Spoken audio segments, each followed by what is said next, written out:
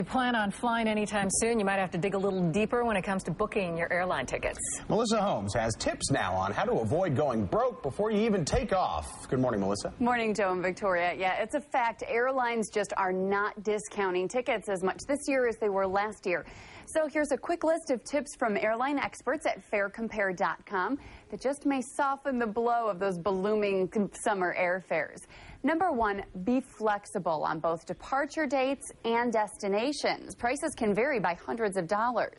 Number two, understand how airlines price their flights. Three, shop early and often. Procrastination will not be your friend this year.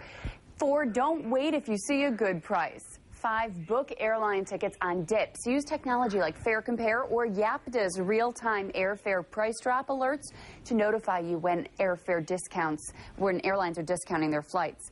Number six, avoid traveling on a Sunday. Airlines are charging a $30 peak travel surcharge this summer for Sundays.